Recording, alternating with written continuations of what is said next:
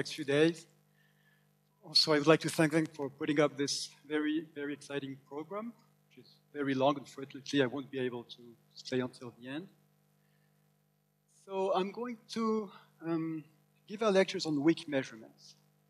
So even though weak measurements have been around for maybe 25 years, uh, they're still not, a, let's say, a general agreement on exactly what um, content is, what the meaning is.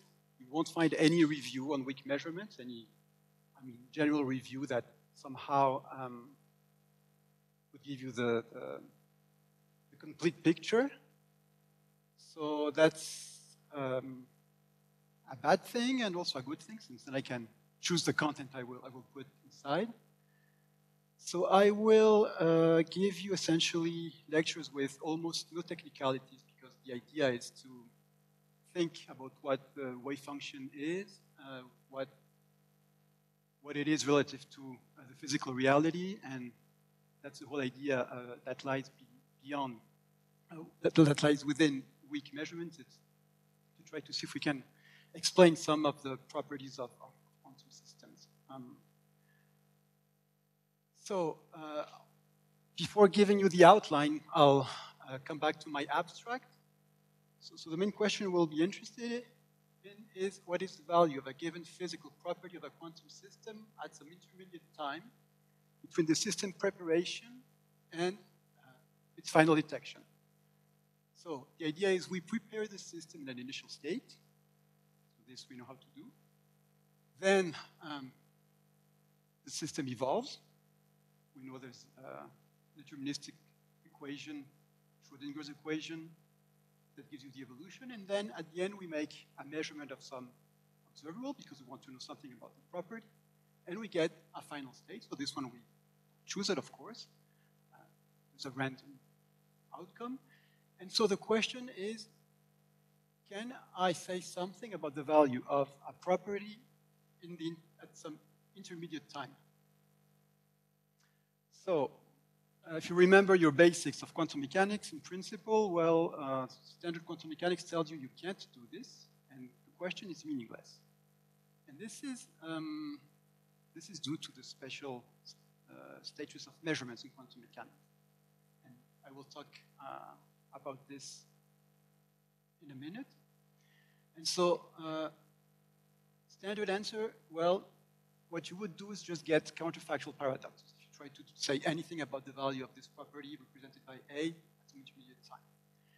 Now, the, the whole idea behind weak measurements is that standard quantum mechanics gives you, um, gives you another answer, and the answer is uh, a sort of minimally perturbing, non-destructive uh, measurement. And this is what weak measurements. And of course, the reason why in the last uh, 10 years or so weak measurements have become more popular is that this protocol that I will describe uh, is experimentally feasible. And so uh, people have made a lot of experiments. And this is part of the, of the success and why uh, measurements have attracted, are attracting a lot of attention, even though they're very controversial. So all this raises fundamental questions. So uh, I think this first week and maybe next week also we'll hear a lot about um, measurements because this is really the, the, the, central, central question. Then there's also um, when we will try to to, to understand the meaning of weak measurements, there's a question of um, how properties are ascribed uh, in quantum physics. What is a property? When can you say that a system has this or that property? So this is also uh, something that we have to discuss. So this is a conceptual issue. Right? Uh, um, and of course, we know the physics are described as state vectors, and so we want to know the relationship between state vectors, properties, and measurements. This is what uh, lies behind. So as I said, there's no real review. There's no genuine global review that would allow you to get an idea. And so I haven't built a review. I just selected things that I found uh, interesting to, to talk about. So of course, if you have questions, you can interrupt me. If I uh, go too fast because I have slides, so maybe I will, uh, won't have time to copy the diagrams, or you're not interested in the diagrams, or it's too slow. Just, just you know, yell and, and that and interrupt. So the outline first, um, will talk about properties and measurements. So this will be some sort of almost philosophical introduction.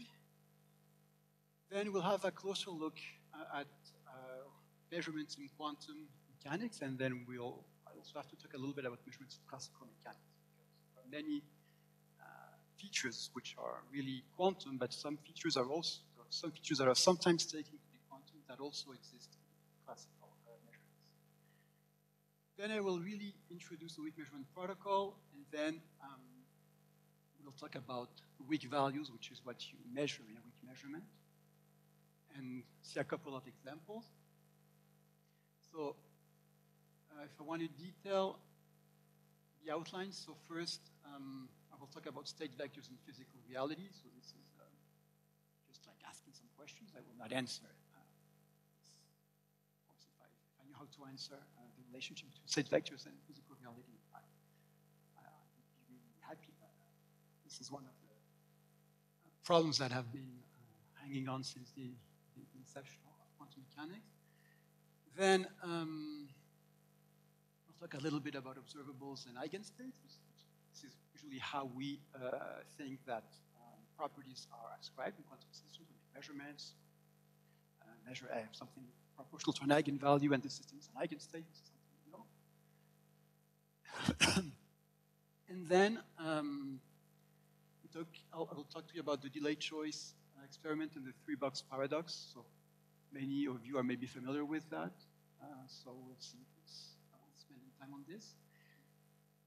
And so uh, when we'll jump to measurements in quantum and classical mechanics, well, I'll briefly recall the postulates. Um, the idea is that the postulates are not enough, and so this is why von Neumann made his famous model in which he explicitly introduced the Pointer. And I will close talking about non-ideal measurements, so this will be very qualitative. So when I will introduce the weak measurement protocol, I will talk first about strong measurements at intermediate time, so you can always do a projective measurement. Uh, you start from some initial to some final point, you can always make a projective measurement and then do another evolution to reach the final point. Before getting on uh, weak measurements, weak values. So we were asked to include tutorials. So rather than doing the tutorial at the end, uh, we will try to compute some weak values just to kind of play with, with the, the formula. There are very few formulas actually in all these uh, lectures. And um, then we'll try to apply this weak measurement idea to um, try to understand their properties. Uh, we'll talk about what can we say about the past of the quantum, quantum particles that are detected in some final state. In particular, we can um, try to understand what does this disembodiment uh, imply. So this is something we can discuss. And then I will talk about trajectories in quantum systems, because you can, uh, although in principle, you cannot define trajectories in quantum, mechanics. There are, there are, several ways to introduce trajectories in quantum uh, systems, and so I will mention two of them and see how weak measurements can uh, allow to measure, in some sense, uh, these trajectories. Okay, so, uh, so the, the, from a very uh, general backdrop, um, we can, we can say that the issue, if we want to understand what lies beyond all these uh, state vectors, our property ascribed, and, and so on, is to uh, answer the following question, why is science so successful? So from a pragmatic point of view, you can just say, well, uh, we have filtered the bad theories, those that did not work. And so basically theories are just a bunch of recipes, and uh, we just learn how to craft better recipes, and we throw away the bad ones. So this is a very pragmatic approach, and um, basically the symbols we manipulate, they're not related to reality, or at least the question is not very uh, relevant. And now there's the other view, which uh, is usually called scientific realism, is to say that, well, in our theories, there are terms, theoretical terms, uh, that refer to aspects of the physical world.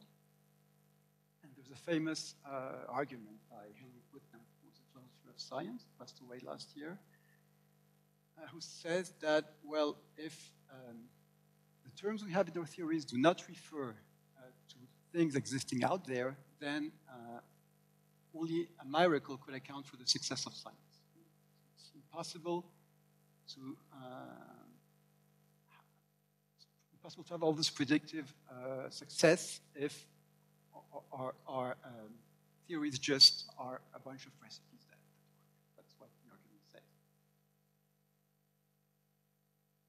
So, uh, if you're a pragmat, from a pragmatic point, instrumentalist point of view, in some sense, there is no fundamental distinction between science and witchcraft. Uh, science is a, just as successful, sophisticated form of witchcraft. So there's a very nice quotation by, uh, by Nash, a mathematician. All that says that's like kind of, uh, I don't think I have it here. Bring it.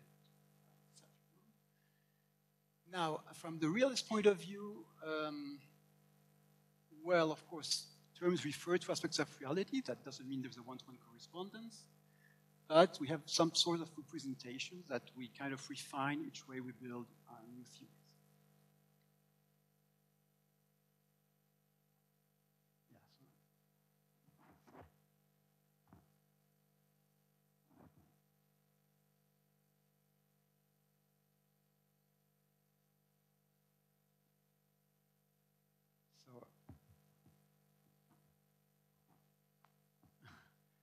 Yes, weak, weak volume.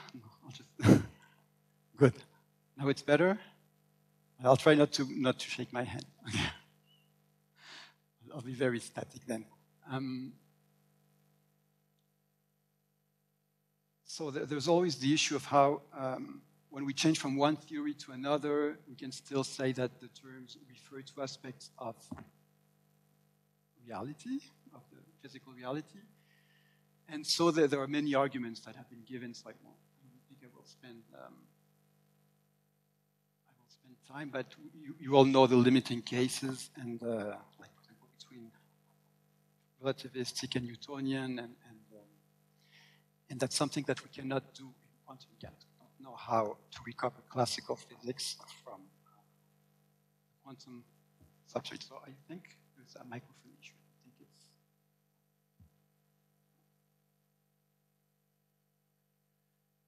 So I can give you an, I can give you an example. Um, classical mechanics, so you have a, a basic ontology. So you have material points, and you're looking at the motion of material points. So your basic ontology is made of material points. That does not mean that you have that the world is made of material points, but that's an idealization that sticks a good representation of physical reality. And so uh, you look at the, the dynamics, look at the dynamics of these material points, and uh, that, I'm sorry. And, and so those are the referring terms. Material points are the referring terms of your theory. Now you also have another uh, form of uh, classical mechanics that you know, which uh, is based on the Hamilton-Jacobi framework and on the um, canonical transformations.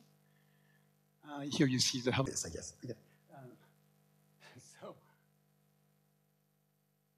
so you have uh, one, one framework in which you have referring terms, which are supposed to refer to aspects of reality, and another framework, which is also classical mechanics, in which you have non-referring terms. I mean, nobody uh, will pretend or claim that uh, the classical action exists out there in the, in the physical world. It's just supposed to be an epistemic, knowledge-related term.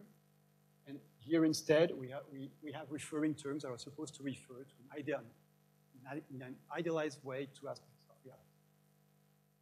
So of course, the problem with quantum mechanics is um, that we don't know if uh, the, there are referring terms. Uh, the, received view is that it, there are no referring terms, that all the theoretical terms we manipulate are knowledge related, but we don't know to what they are related in, in, in physical reality. And this is, uh, of course, a problem because uh, even though we try to accumulate uh, observations and try to ascribe reference to the theoretical terms, there is no agreement because there's absolutely no way, uh, an ambiguous way, to ascribe terms, to ascribe reference to theoretical terms of quantum theory. So um, we can always assume there's a, you know, you assume there's some basic ontology, underlying ontology, but then if it's just uh, totally arbitrary, you can always, if you add ad hoc hypothesis, you can always, in some sense, save this ontology. And so you will have competing interpretations with each one endowed with a specific ontology that will tell you what uh, uh, the, the, underlying uh, physical reality to, to quantum uh, formalism is. And that leads us to the, um,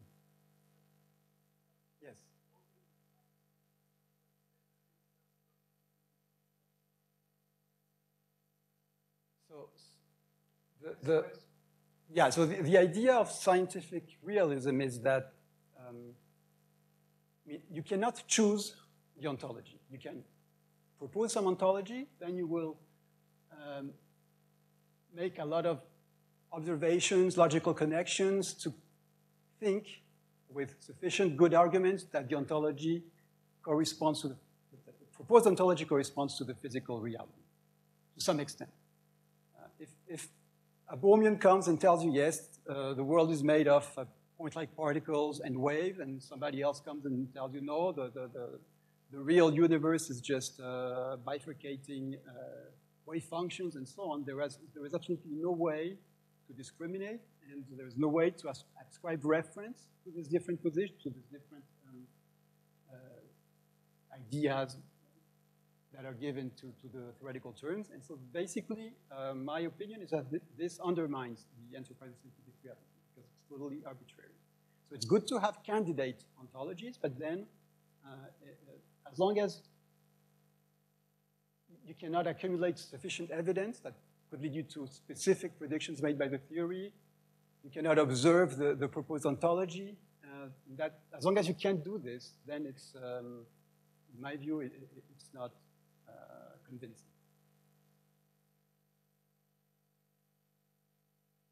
So if we, for example, if we had some observational warrant concerning the state vector, somebody said the state vector corresponds to this thing, and then somebody observed that specific, uh, specific claim, let's say, that could be observed, then yes, then we would say, yeah, state vector is real, corresponds to, I don't know, this type of field and so on. So this is something, of course, that we, we know we can't do, something then there are all, all, these ideas that there's maybe something underlying, uh, uh, the quantum formalism would, would, emerge from some underlying uh, ontology. So, so, these are questions that we, we don't know uh, how to solve. So I just um, use this quotation by Pauli because uh, at the beginning he was very very much had a very much pragmatic attitude, and towards the end of his life, he really uh, thought it was important to, to try to uh, uh, come up with an image of reality that would um, be consistent and with the quantum formalism. Okay, so, so basically,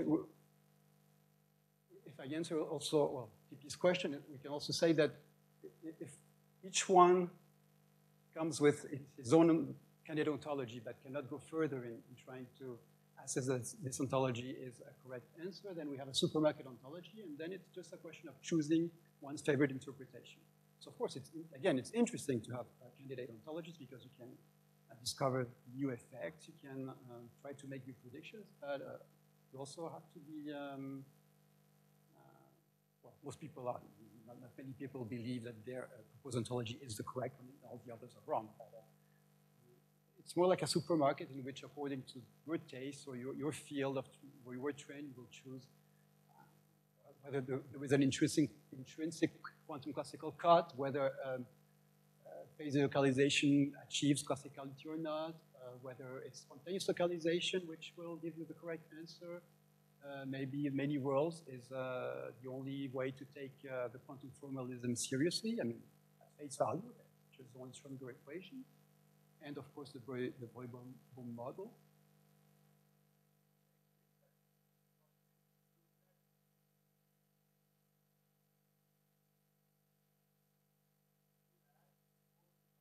You, you add yes, you you you you add as. Uh, a nonlinear term, so it, it can become different. But for the moment, it's, so, so if at some point uh, the prediction, uh, I don't know, the, the, the, nonlinear parameters lead to new predictions, then it will be uh, extremely interesting,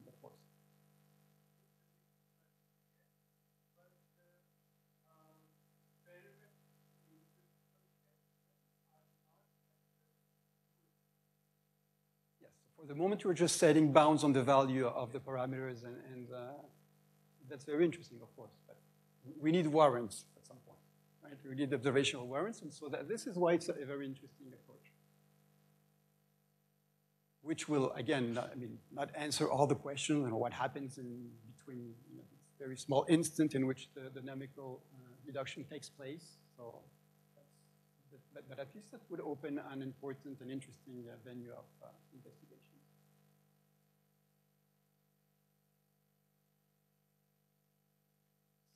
Um, the question can be framed in this sense. Is the state vector more than a bookkeeping device? Um, so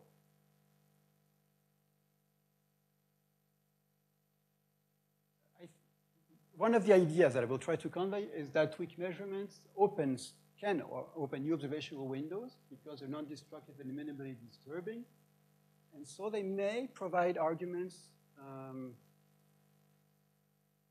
pointing to the fact that uh, maybe, again, I'm very, I'm very cautious here, uh, some of the features described by the quantum state, by the state vectors, have uh,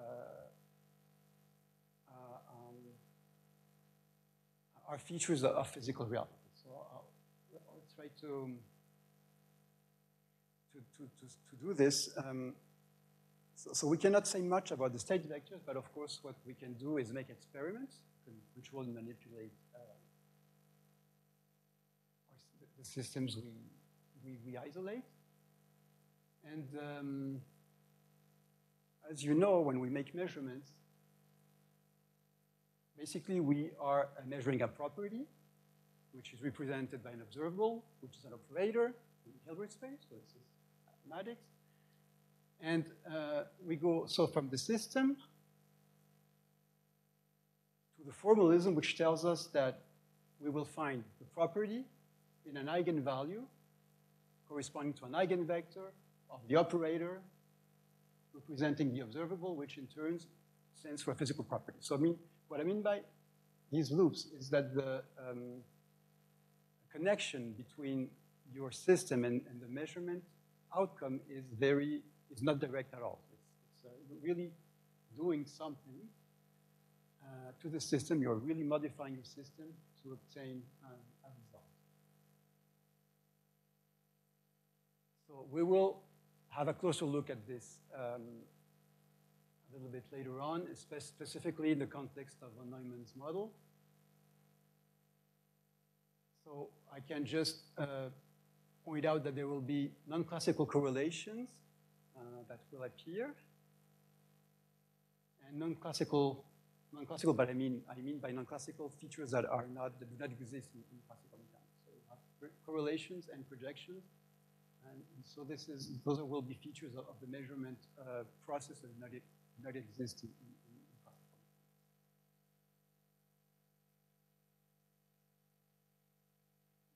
um, most people know at least the beginning of uh, Peres's famous sentence, quantum phenomena do not occur in a Hilbert space, they occur in a laboratory. This is true, but then, as, as he says, uh, we have to make the connection. We need to make the connection between our theoretical description and what we do in a laboratory. So he calls this a translation, so he was more uh, instrumentalist than scientific realist, but uh, even if, if we, I mean, if we want to, to try to find some reference to, to the theoretical terms of uh, what the state vector represents, we also need to do this local translation.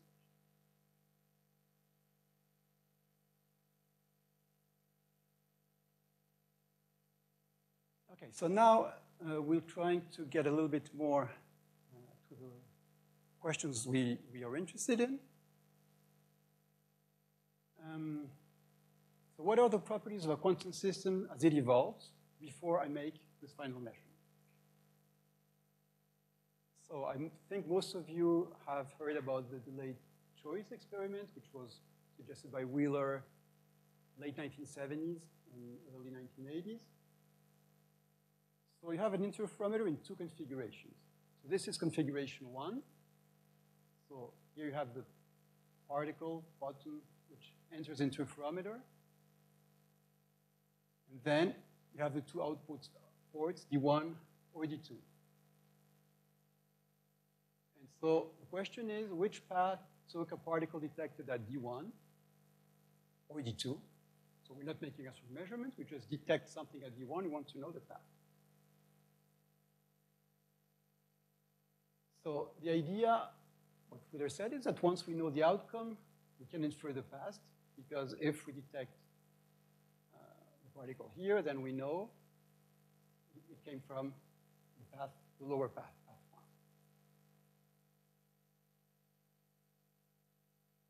Now, uh, Wheeler said what happens so if we add a beam splitter, then uh, we don't have this particle aspect, we have of course, the wave aspect, the waves that travel through both paths. So here I didn't mention, but you have a phase shifter that can adjust. And um, then what he, the, the, paradox is that the wave of particle aspects of the detected events depends on the presence or not presence of the second beam splitter. So of course you can, what, what's called delayed choice, you can choose to add the second beam splitter after the particle has entered into interferometer, so just before actually it arrives here. And so if you delay the insertion of the second beam splitter, Wheeler said, well, the particle or wave aspect will depend on our choice just before detection. And so the conclusion is that, um, well, in, in, a loose way of speaking, we decide what the photon shall have done after it has already done And so, of course, in actuality, it is wrong to talk of the root of a photon.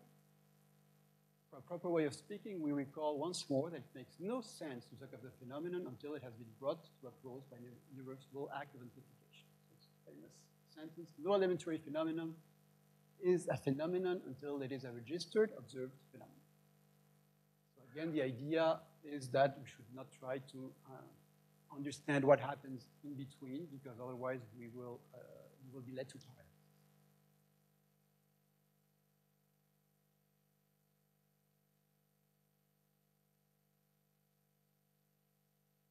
actually, of course, uh, Bohr already uh, had told us, warned us that um, it makes no sense uh, to infer the path.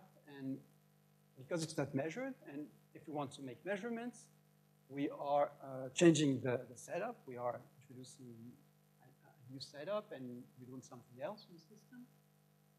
And, and so we have to be uh, careful when we try to infer uh, what happened to the past of a particle once it has been detected to reconstruct the past. It's simply not possible, or at least paradoxes. So another paradox, maybe, I don't know if some people know it, it's the three-box paradox, suggested by Aharonov and Vaidman. So now we have three boxes. Box A, B, and C. And so when the particles in the upper box, box A, I uh, use a state vector A to describe that the particle is here. And the particles in the second box, I describe, I use the uh, vector B and so on for particles. So this is uh, A means the particles in box A. Of course, a general quantum state, you can just superpose A, B, and C in this way.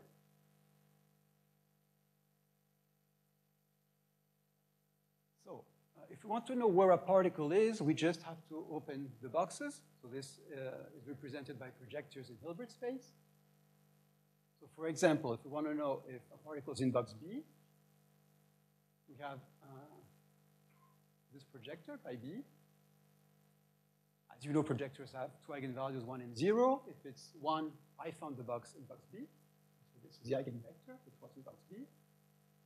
If uh, we have the eigenvalue 0, then of course it means the particle was not in box B. And so the eigenvector is an orthogonal subspace to B. So A is generated by A.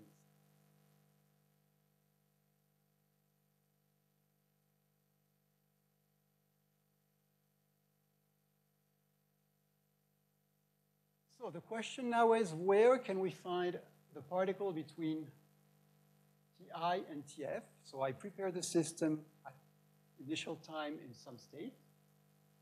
So let's choose this is the initial state, the superposition, which you can read here. Then at the end, I make some projective measurements. So there is some observable, which I did not write, but this is one of the eigenstates of that observable. So of course, when I will make uh, the measurement, I can find the system in three different states, but I will only keep uh, the states corresponding to this, uh, this eigenvector. So this is called post-selection. And the preparation is sometimes called pre-selection, we'll see these terms appear frequently.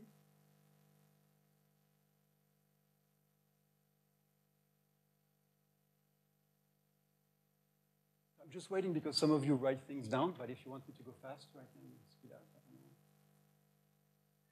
Yes.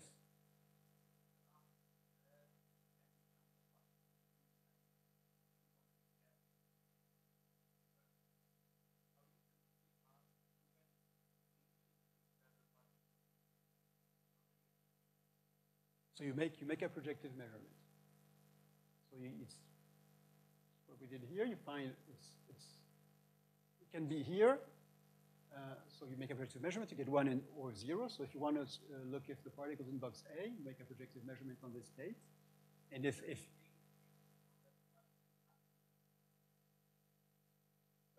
so, the first question is how can I know when, when the particle is in this state, right? So, so, so then you make a projective measurement. If you open box A, it will give you one, it's there, or zero, it's not there. That's the only thing you can know. So that's the first part. So the second question is, uh, well, second question, just you, you will see what happens. Okay. So, but making a projective measurement on a state without uh, post-selection is um, straightforward, right? That's, uh, just find the, you open a box and you find the particle, you don't find it. Now here I'm trying to add this condition that I, I, I assume I let the system evolve. I will find it in this state, and where was the particle in between? So if I want to know if the particle is in box A, what I would do, so I would use conditional, uh, well, I would use, I mean, the only thing I can do is open a box, and the only way to do this is to use a projector. So if I want to open box A, uh, I know that I, will, I can get two uh, eigenvalues. One, the box is in A, or zero, the box is in B plus C. Now, if you remember that I have my final state constraint, what you realize is that if I get an eigenvalue zero, then I'm in this subspace, but this subspace is orthogonal to my fi the final state that I'm supposed to obtain. So the conclusion is that the particle must have been in box A because if I don't find the particle in box A, I can never reach the final state.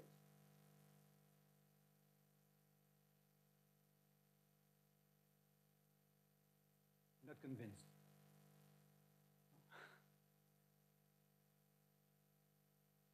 So the, the statement is, um, I measure the, I open the box A. If it's not there, then I'm in this subspace. It's not, it's, the, the, particle is not in box A, so it, it, it has to be B or C or some superposition of B and C. But at any rate, because I obtained zero when I measured A, it has to be the subspace associated with the eigenvalue zero. Now, this subspace is orthogonal to the final state. What does it mean? It means that if you, make, if you take the scalar product of this subspace with the final state, you have zero, and what does that mean? That means that you cannot reach the final state. If you're in this subspace, you can never obtain the final state. Okay? So if you assume uh, that you reach the final state, you cannot obtain zero. You have to find the particle in box A. Otherwise, you will not reach the final state. I suppose there's, uh, yeah, I suppose there's no, no self-Hamiltonian and there's no, you can, uh, if you want a physical rendering of this system, you can assume there is one. So I will give you a, a bit later on a physical rendering system of time and wave packets and that kind of I'm, I'm not, okay, so, so now I, I will do the same thing with box B. So I open box B, and I can find one, the particle is in box B, or zero, the particle is not in box B. And again, I have the same argument. If the particle is not in box B, then I'm in this subspace, A plus C, and this subspace is orthogonal to my final state. So if I find zero, if I don't find the particle in box B, then I can never reach my final state.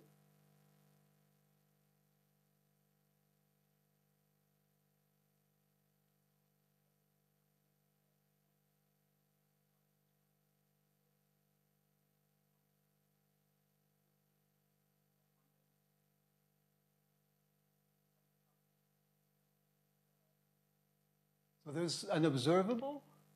When I measure this observable, it has three eigenstates, and I only, I, I filter. So I mean, I, I, each time, I only filter when I, get this, uh, this state. If, if I don't get this state when I measure the final observable, I throw away, and it doesn't count in my statistics. So of course, this is. Why have you chosen the final state so that it should not be in one of the boxes? Yeah, like that, well, have chosen the- Well, because actually the, the way that, the, that they chose the final state uh, to be like this is that it forces you, if you suppose you open a box, it forces you to find always a particle in box A if you open box A, and always find the particle in box B if you open box B. That is the paradox, of course, because you only have one particle. If you open box A and you're sure to find it, and you open box B, you're sure to find it, I mean, there's a problem, right?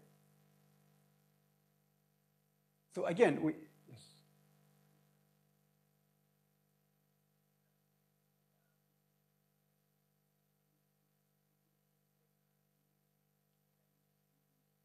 Sorry, I didn't hear the, the,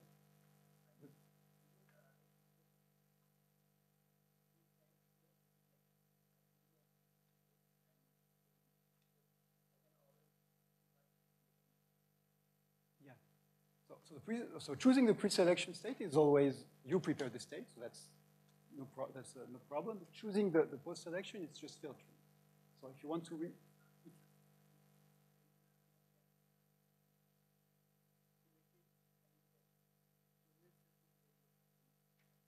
yes. No, no, filtering is, uh, no, no, filtering is not, filtering is a projective, filtering comes from a projective measurement. So this will become clear because I will introduce a unitary. No, no, no. Post selection is a, is a filter, so you stop everything you don't like. So it's highly not unitary. Yes, actually, it's, it's, in this case, it's just a statistical filtering. You will get, uh, well, if you have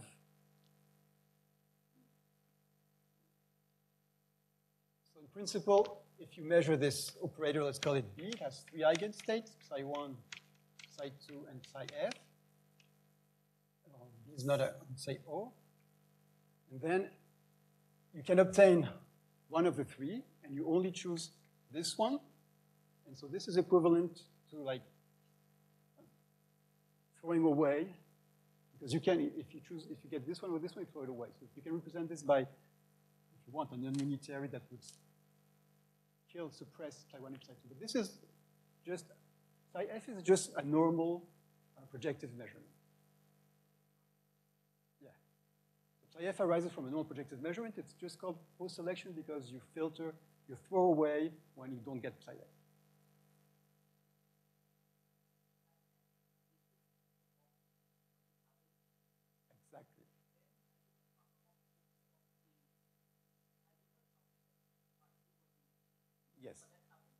that subensemble. And if I open box B, right, right, and, and if I choose another state, then this will not be true. One of the other, psi one or psi two, then this will not hold because I need, I need this property, I need the orthogonality property here to hold.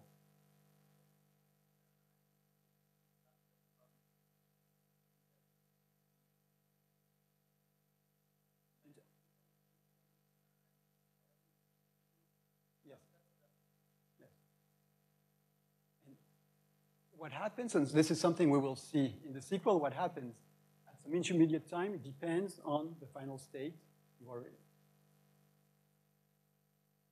Okay, so, um, so it's okay with the paradox?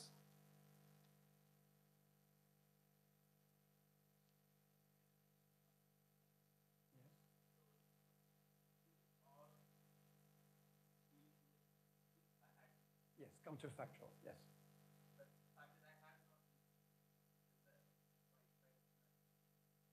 So we're trying to understand what happens if I could look. So we know that if we really look, then we're going to make it, I mean, at least uh, uh, uh, the standard um, formalism tells us that if we want to look, we have to make a projective measurement. If we make a projective measurement, we will kill the, the evolution, and so we will not reach psi f at any rate. So it's meaningless. That's Bohr's point of view. Now, uh, Bohr also said that if we try to uh, do as if, so it's called counterfactual, you, you, you, reach paradoxes.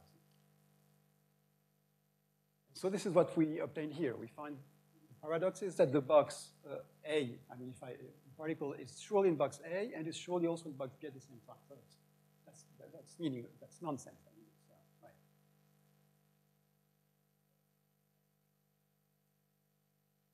No, that, that's just due to the fact that um, uh, the, the, the way, actually it's, it's Born's rule, is, is that the uh, probability to obtain a final state is given by Born's rule, and so you just choose your states in a clever way so that this probability is zero. This is how, how the thing is constructed. So if you want the transi transition amplitude is zero between your intermediate time and, and, the final. But we'll, see this in, more detail. Uh, so, so as, one of you point, pointed out, so the paradox is due to the fact that we are using counterfactual reasoning. Because if we modify, that's what I just said, if we modify the experiment, then post-selection may not happen, we will not get the final state, and so we can uh, go to sleep uh, without uh, nightmares, we will not have this type of actually, we will see that with weak measurements, you kind of are, are allowed to do all this without uh, without doing projective measurements at some intermediate time, and so in some sense, the paradox is back. So before uh, getting to weak measurements, I will uh, introduce, uh, I will talk about measurements, uh, normal measurements, just to as a refresher or, or maybe for.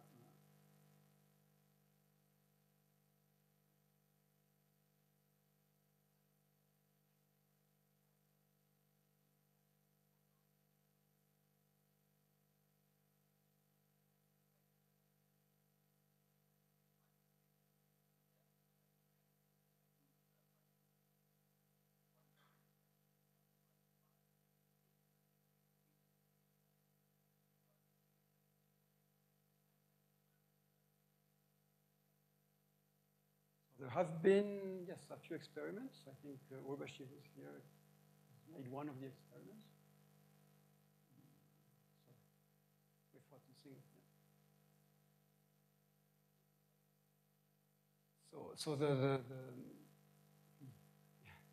the paradox is, relies on counterfactuality, and then when you do weak measurements, you obtain something that can be interpreted as a paradox or not. So this depends on the interpretation you have of weak measurements little bit, so we'll get to that a little bit later. So when, you're given, uh, when you learn quantum mechanics, you're given postulates, usually representation of physical states, so we tell you, there are vectors in Hilbert space, blah, blah, blah, blah, blah, blah. uh, the time evolution of state vectors, so that's Schrodinger equations in non-relativistic quantum mechanics. And then uh, you're giving some uh, weird postulates on quantum measurements, so each dynamical variable is represented by a Hermitian operator. The eigenvalues of that operators are the possible values that the dynamical variable can take. You have Born's, rule, so the, the order of presentation is they're equivalent. You you don't always find these postulates, but there, sometimes there are others that can be derived from the, these ones or vice versa. Um, so you have Born's rule, and then the fact that there's uh, projection, state reduction, collapse, I don't know how you want to call this. Those are things you know. So if we want to do a simple application to a spin one half or a qubit, then as you know, you have some initial state. Uh, so let's say that uh, my operator is sigma uh, z, the spin component z-axis, we was plus minus one. So what's usually sometimes, usually let's say, it's called pre-measurement state. It's the action of the operator on the initial state. So this doesn't mean anything, but uh, it's always often presented like this. I mean, it means something from a mathematical point of view. I don't, I don't know if it makes sense from a physical point of view, but okay, we can mathematically just uh, let sigma z act on psi. And then at the end, we have the projection. So it's plus or minus with the probabilities. So this is something you know. So we can do the same thing uh, just with the projector. So this is something you just did. So if you just project it pi minus, then you will get plus one from the minus state. And uh, you will always have the uh, minus component.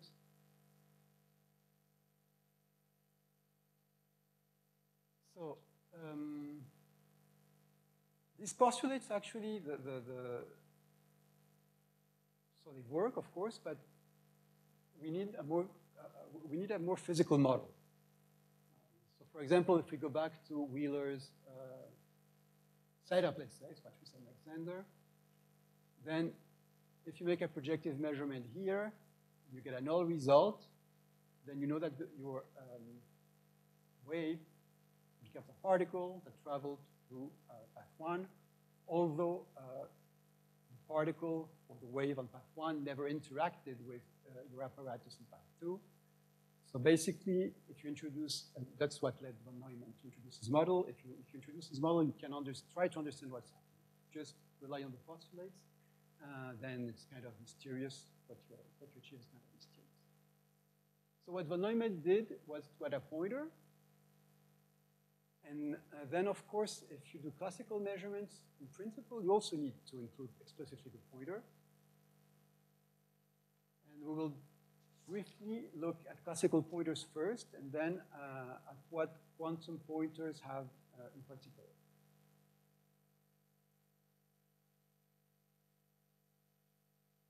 So let's assume we have a system Hamiltonian H0.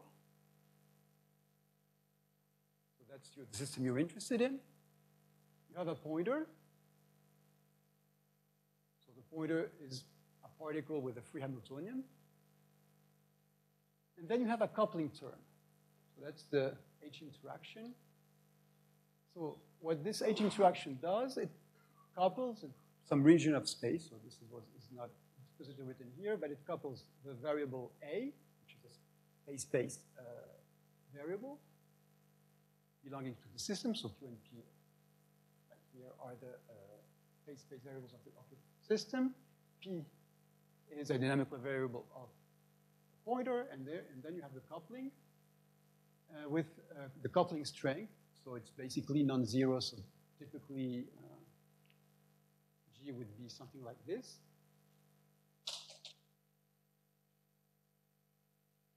Which would be non-zero during the time of the coupling, uh, during the time of the measurement. And when you integrate over uh, the time the measurement takes, you get some sort of effective coupling constant. And so the total Hamiltonian is given now by uh, system Hamiltonian, pointer Hamiltonian, and interaction Hamiltonian.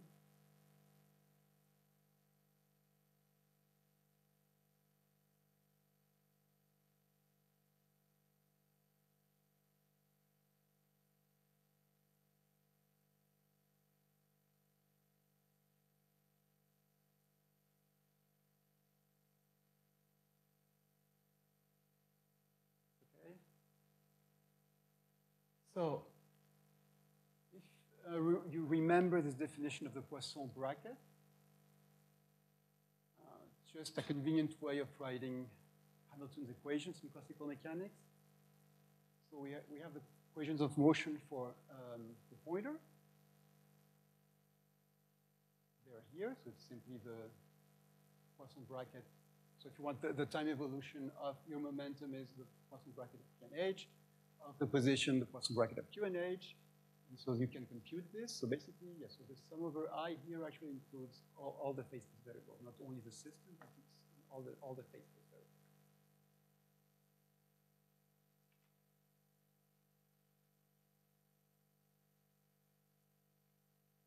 So for the pointer, if we solve this, um, we find that P is a constant, and that Q, for a time larger than after the measurement instruction has taken place, so the pointer position, this pointer position, is its initial position plus uh, this free motion, additional term, it's just free motion, so you can always choose P to be zero if you want free motion, plus this term that is proportional to the value of the observable you want to measure, so the value uh, of A at time t0. It's basically, this is what you expect a, you expect a pointer to do. The final position relates uh, once you, of course, it was calibrated to some initial position that you know, then just the final position gives you the value of the variable you're interested in, and so everything is so of course, you have to assume something about the fact that the variable you're measuring does not evolve too much during the interaction time. Otherwise, you have to take some average, but okay, this is a minor, minor issue.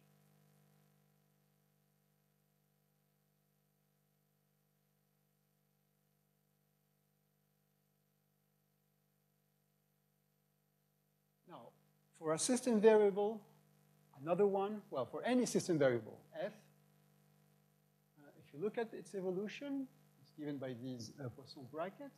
So it's, of course, uh, the, let's say, free evolution, so the one generated by the system Hamiltonian, plus this term that involves the Poisson bracket of uh, this observable and A. And so for f equals A, this Poisson bracket vanishes and um, there's no back action. But for some other system observable, there will be disturbance generated by this measurement.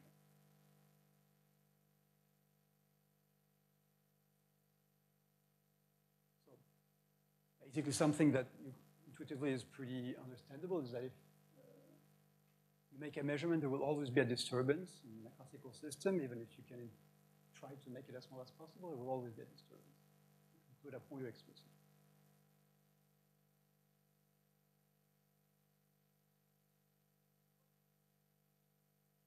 Something?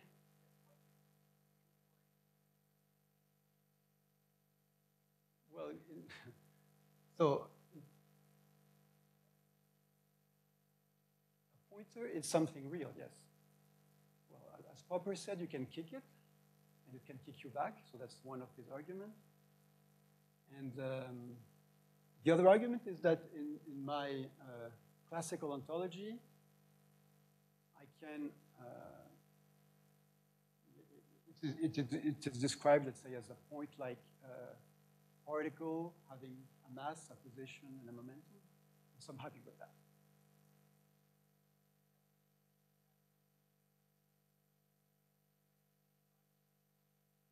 Yeah, your, your needle, your needle is represented by, by this point-like uh,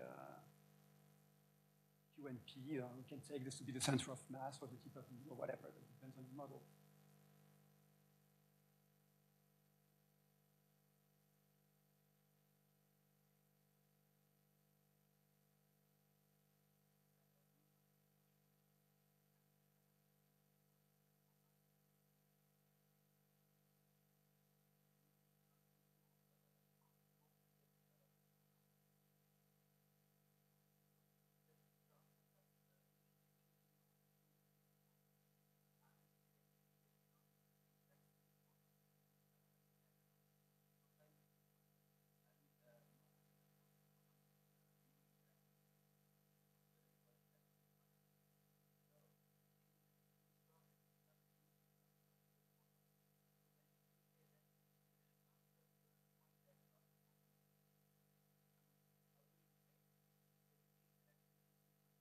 Yes.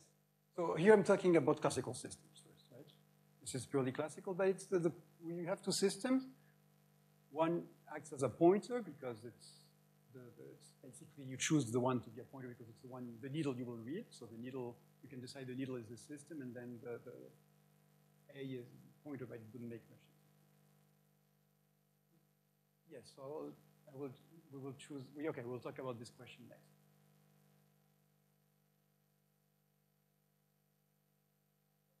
Yes, this is, classic, this is classical mechanics. Hamilton's equations of motion, it's, everything is classical. Yes, everything is classical. I will just contrast the classical uh, description with the quantum description.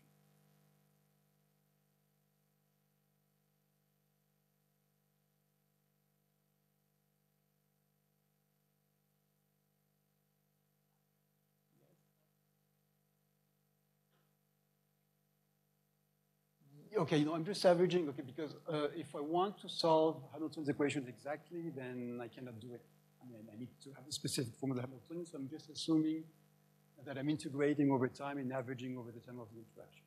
This is just, uh, yeah, I should have, you're right, I should have said that. So I'm just, so, so I don't have a specific model. I cannot do anything explicitly because I don't have an explicit model, so I'm just assuming that I'm taking the um, Poisson brackets you see here and just taking some average over the time of interaction. And of course, this will be at best an approximation.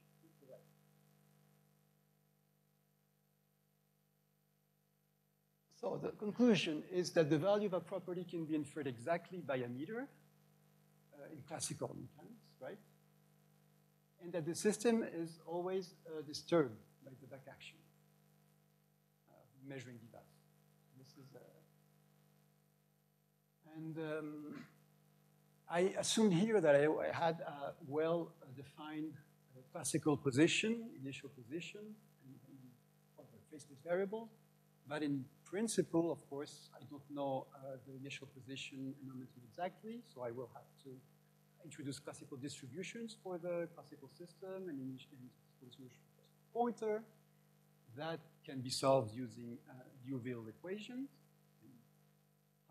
which are well known, and Liouville was a student of Poisson, so everything is fine.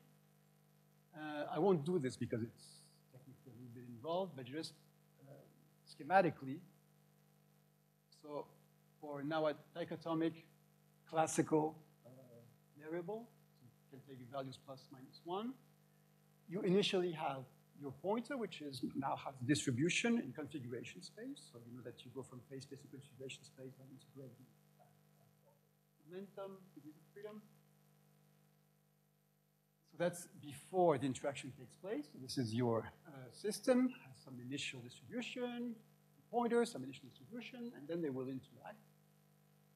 And after the measurement, then you basically will have uh, very schematically this type of uh, structure. You will have your uh, dichotomic variable, so you will have your system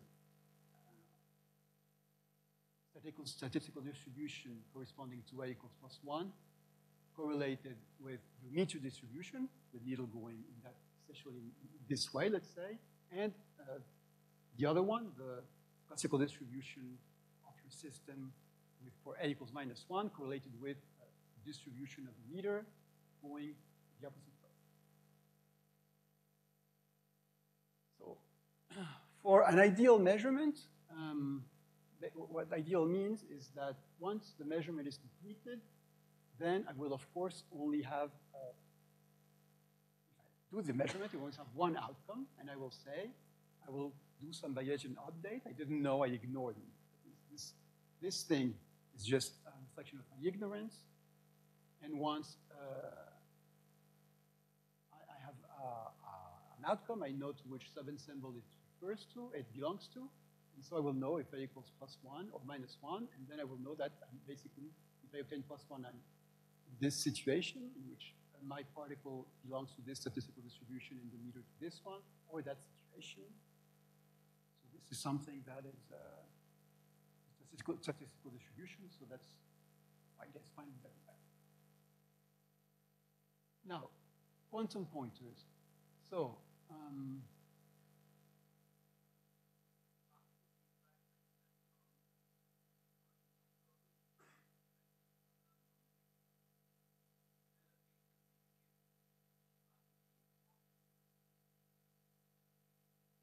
yes, in principle you can make it as small as possible.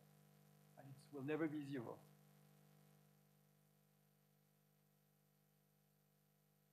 The thing is that you also have to control all the initial positions of your uh, pointer and your system, and this is something that can, in practice, never make it. You're, yeah, yeah, yes, yes. No, yeah, yes, yeah, yeah, yeah, yeah. Well, you can make it a bit arbitrarily small. No, I mean, in that case, uh, depends on the observable. I mean, if you're interested in an observable for which the Poisson bracket is not small, it cannot be small. That will depend on the observable you choose. Yes, but then if G is not, uh, this is something we will talk about just in a, in a moment. If G is not big enough, then I cannot make a measurement of A. there's a trade-off.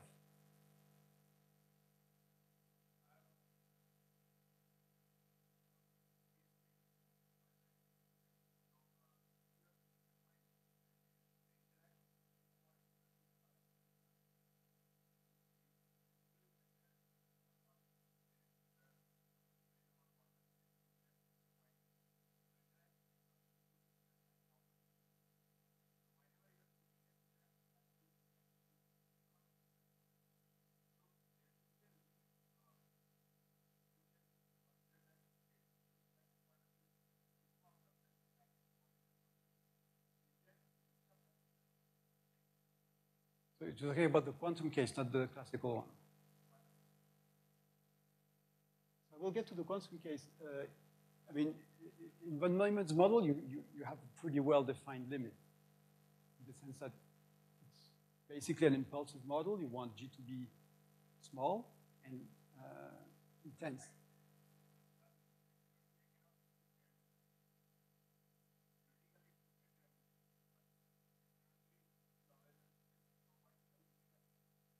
The, the, I don't know, operationally, if you know what you're measuring, it's whether you obtain the eigenvalues or not. This would be the operational.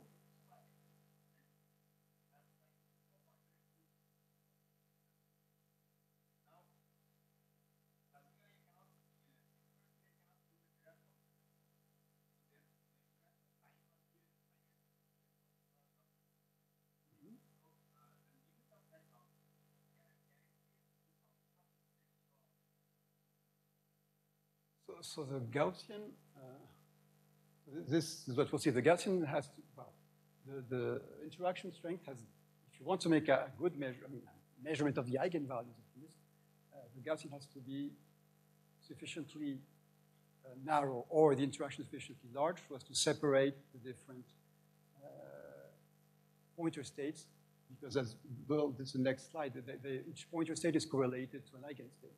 So if the, if the Gaussians overlap or uh, uh, the interactions well, overlap because it's, too wide or the interaction strength is too small, then you would, lose this correlation between eigenstates and pointer states. This comes out of, the, of von Neumann's model.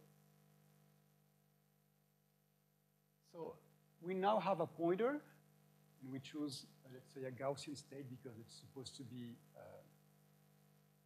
very much like a statistical distribution for the classical uh, state, for the classical pointer I just showed you. So it's basically localized in space. And so the initial quantum state is just initially you have a couple states, so the system at time i and uh, the pointer. So what we assume is that the system and the pointer will interact, so during a brief time interval, so basically you don't want A to change too much during the time interval. And um, the time interval is tau, and it's centered around what I call T naught. So that's the time uh, during which the system and the quantum pointer interact. So we have exactly the same interaction Hamiltonian as in the classical case. Now it's, quantized. And again, we have the same type of uh, coupling profile. So I just should have put a capital G here instead of a small g.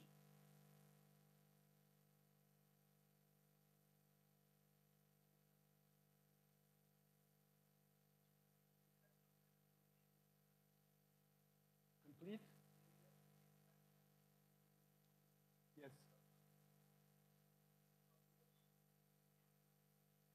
Yes, you can do the same computation, yes. I mean, you're just coupling difference. So, so uh, here, uh, if, you, if you choose momentum, your Gaussian in position will shift in position. And if you, if you choose position, which happens like if you have a magnetic field that measures something, so we'll typically have position, and then you will have uh, a shift in momentum that will give you, will split the, the, the pointer. So it uh, depends on the system you're considering.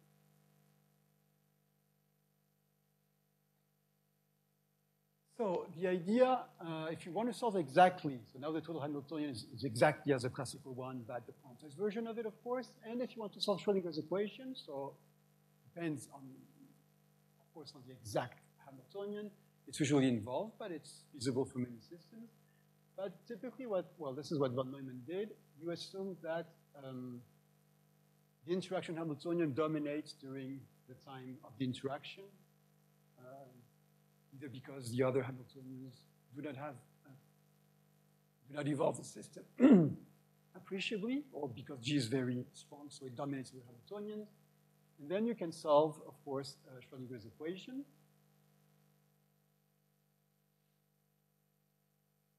So basically, you're just interested in, in uh, your interaction Hamiltonian. When you integrate this dependent coupling, you just get the effective overall coupling G.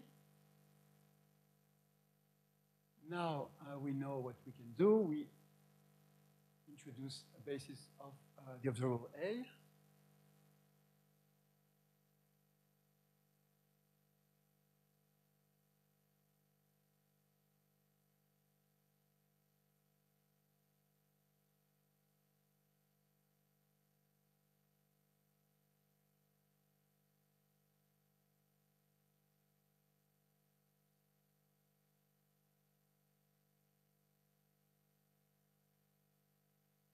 to the next slide. Yes. And so, um, once I do this, well, we have the following result. We see that each pointer state, so the phi k here is just defined by, uh, so first step, maybe you don't remember. So, so when uh, your momentum operator here, this generates, acts on your Gaussian, it generates a translation of uh, your pointer in the position variable. So here is the translation. The translation is, of course, this term. And so each uh, eigenstate, AK, is correlated with a shifted uh, pointer position and so von Neumann's model gives you a superposition, an entangled superposition in which each uh, pointer state is correlated with an eigenstate of the property you're measuring. And of course, uh, the caveat is that this is what you, the remark you made is that um, you need to have orthogonality of these uh, of these pointer states. Otherwise, the correlation is lost. So each of these pointer states will be shifted proportional to the eigenvalue. The thing is, of course, that you have an entangled state, so superposition, and to obtain a single outcome, then you have this famous uh, random projection to some k naught that will appear. Uh, this k naught will be correlated with the particular eigenstate and the particular eigenvalue that you will read on the pointer that part of the measurement problem, and I'm not going to talk about this. The, so, so the, the, important thing is, well, of course, that von Neumann's model uh, lets you recover the postulates, a physical model that, that, allows you to understand uh, where the postulates come from. So the, the point is that this pre-measurement state, the pre-measurement that appears look at the postulate, it's a result of the interaction of your system with the pointer. So this is something that von Neumann's model uh, clearly points out. So, so the, the, measurement state is just due to the fact that you have this coupling uh, Hamiltonian, right? So you have entanglement and you have projection. Those are things, uh, I don't know if I can, those are things we don't have in, classical measurements. So if I want to do the same uh, schematic representation I did for the classical pointer, we would have an initial state here of the system, then this would be the pointer, initial state of the pointer. And after the interaction, we have this entangled state. And uh, at some point, we'll measure this. I mean, I have assumed here that the quantum pointer is absolutely, that the pointer is absolutely quantum. And at some point, uh, we, we, we will need to assume that the pointer is measured in order to get a macroscopic uh, rendering, which will give a unique result. So this is something uh, that is not treated. We don't exactly know how to treat. So uh, we can always assume that the pointer is measured by another quantum pointer and so on. That leads you nowhere. There's nothing you can really do except there is, assume there's some reduction at some point. And, um, and so that's the projection. So, so one way to understand this is that you have an entangled quantum state, and when you try to measure uh, the pointer, then at this point you have the, the collapse or the reduction. This, of course, is something you don't have at all Right, so I talked about ideal measurements in which uh, the pointer allows you to correlate perfectly the value of a property you're measuring. Now, in principle, I mean, that's uh, before you calibrate even a measurement uh, apparatus, you have a non- non-ideal measurement. So for a classical uh, point of view, if this is an ideal measurement, so this would be like uh, your two statistical classical distributions after the measurement, they would lead you to uh, different uh, regions. Whereas an unideal measurement would have, for example, extremely wide statistical distributions that will not allow you to correlate. In some, for example, in the overlapping region, you would not be able to, uh, keep, to, to determine the value of your dichotomic variable. It's here, you don't know if it's plus one or minus one. It was plus one or minus one, but you don't know. You just don't know because your um, measurement apparatus is not calibrated perfectly, it was not working perfectly. So you have very wide uh, distributions for the, the pointer positions, and so that does not, uh, does not you does not allow you to um, infer from from the result the value of the property you are measuring. So basically, the problem is a problem of knowledge. You don't have statistical distributions do not give you the knowledge you need in order to determine the um, value of the dichotomic variable, an ideal classical measure. In a classical measurement, um, so things are, are, different because if we go back to von Neumann's model, well, if the pointer states are not orthogonal, you don't have correlation between the state of your system, the eigenstate of your system, and the pointer state. And if you don't have this correlation, you don't have an eigensense, and it means you don't have an eigenvalue. So you don't have any measurement outcome, right? So the classical, uh, classical statistical distributions, you have a classical outcome, you just don't know what it is.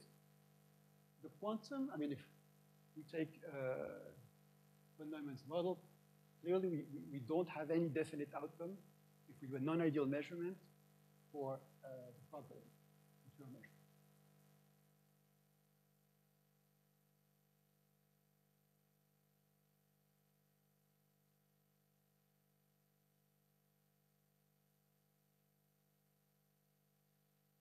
So, uh, if I summarize this chapter on measurements,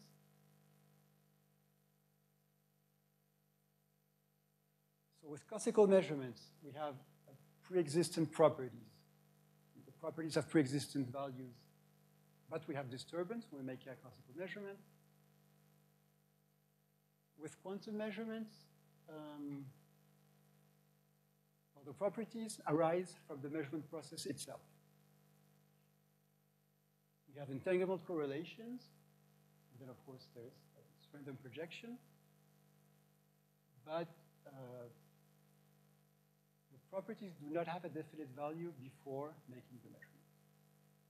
Even after you make the measurement, if your measurement is not ideal, you still don't have a definite value.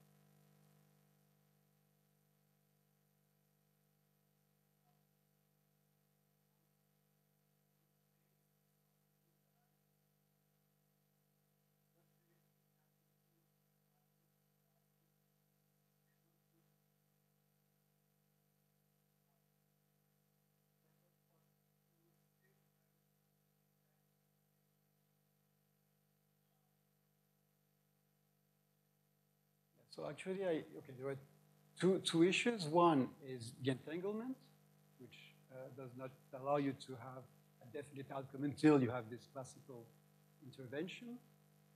The other thing is non-ideal uh, pointers, in which uh, you don't correlate eigenvectors with pointer states, so you don't have eigenvalues either. With ideal pointers, yes. So ideal pointers,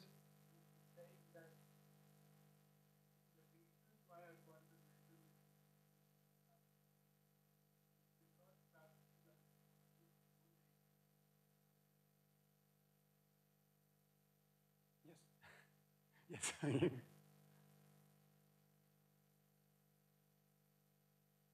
okay, so then, uh,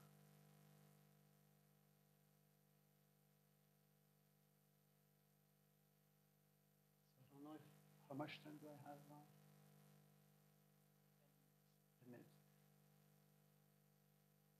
Okay, so I'll, maybe I'll have time to talk about the ABL rule. Um,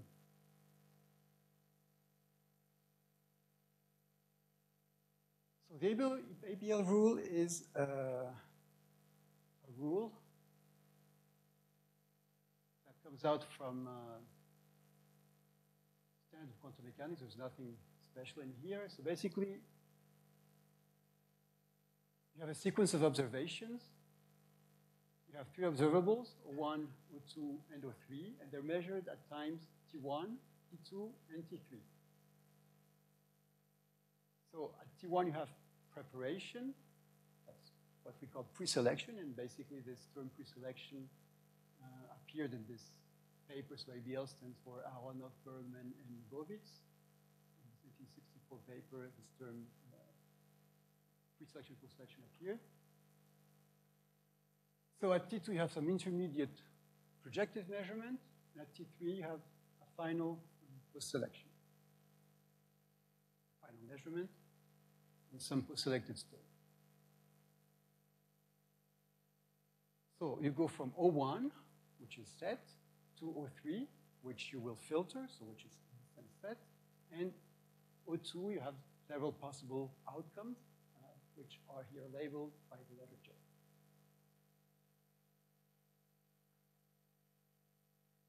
So this, you know, the probability to obtain J, O2J, so the J uh,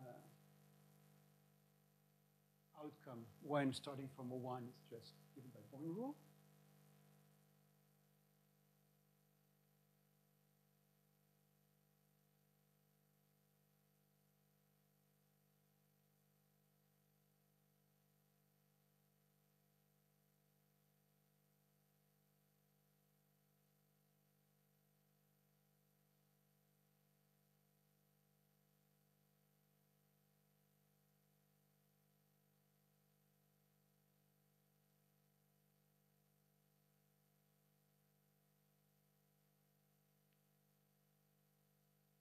You make the consecutive measurements, so from O1 to O2J, and then this gives you the probability. And then once you obtain O2J, so this is the first, so you start from O1, you make the first uh, projective measurement, you obtain O2J, and then you make another uh, projective measurement, and you only filter those for which you get Maybe some O3 as, uh, as other possibilities, but other, you can have any outcome when you measure O3, but you measure the one that you just with O3. So the probabilities are given here. And so the ABL rule tells you what is the probability to find O2J, so the jth eigenvalue considerable 2, if uh, I started from O1 and I condition my last measurement to yield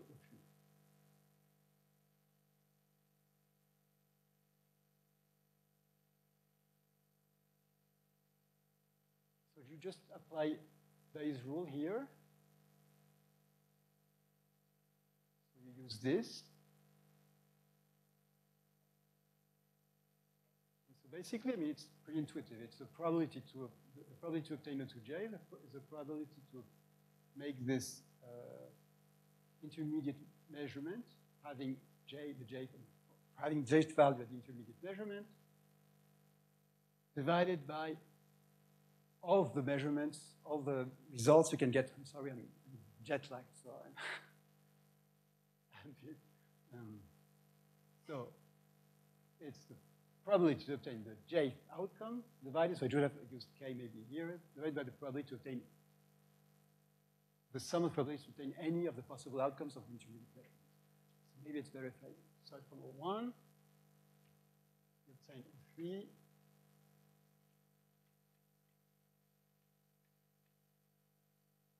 These are the different O2Js that you can obtain. One, when you make a projective measurement of O2 here, right?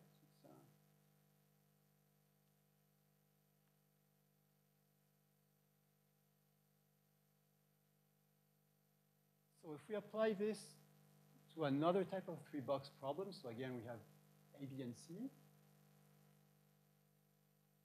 So I choose this as a pre-selected state, O1 that is given here, and O3 as a post-selected state. So there's an, again, there's an observable that has different uh, eigenvalues and eigenvectors, and I only select the ones that will give me this particular form. So if I choose O1 and O3 as indicated, and I make an intermediate measurement, question I'm asking here is, let's say, is the particle in box, can the particle be found in box A? Intermediate, so can the particle be found in box A with the condi condition of the fact that I have this initial state and this final state. So the particle cannot find in box, cannot be found in box A because, of course, I don't have an A at the in the, in the final uh, state that I will measure. So if I found a, a, particle in box A from the initial state, which is possible, I make a projective measurement. I will not find uh, the, the, final state of 3. I may find another eigenvector of this uh, observable. But not this one, because this one has no A component. So this is just making projective measurements. There's no mystery here. Um, can I find that? Can I find that box C the intermediate measurement? No, for the same reason, because uh, if I start from a one, there is no way I can I can reach C because uh, one is, is, is, only a superposition of A and B, so there's no C. I cannot zero. So uh, the intermediate uh, measurement can only give me a result in box B.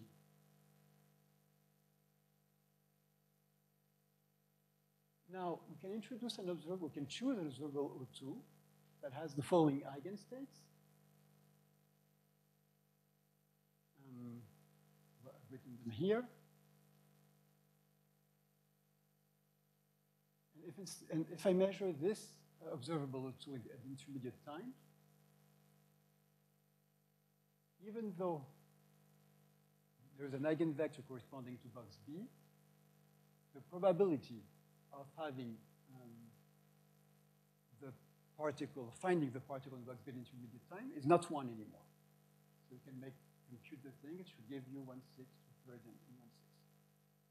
So this is just, uh, again, just standard projective measurements. There's nothing, nothing mysterious. So the, the conclusion is that if we open the boxes here individually, one by one, the only possibility is to find the particle in box B. But if I choose another observable that does not distinguish the three boxes individually, so it distinguishes B from a superposition of A and C, then in that case, I can't find the particles in boxes A and C. So this is pretty well uh, understandable in terms of contextuality, because the asking the question about whether the particles in box B and intermediate measurements depends on the observable you're measuring, so on all the eigenvectors in some sense, not only in the specific uh, eigenstates the projection would, projection would make to box B. So that's uh, maybe a little bit surprising, but actually it's pretty well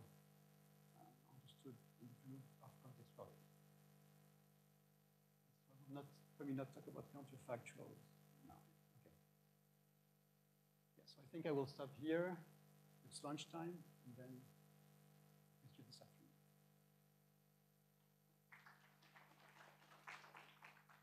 Don't time for questions now? No. Go to lunch? Okay, we have to go to lunch.